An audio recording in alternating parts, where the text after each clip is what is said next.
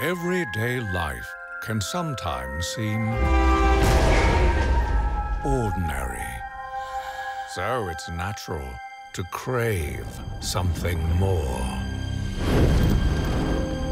To hunger for something that you can't describe.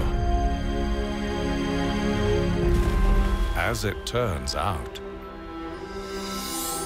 all you have to do is step inside.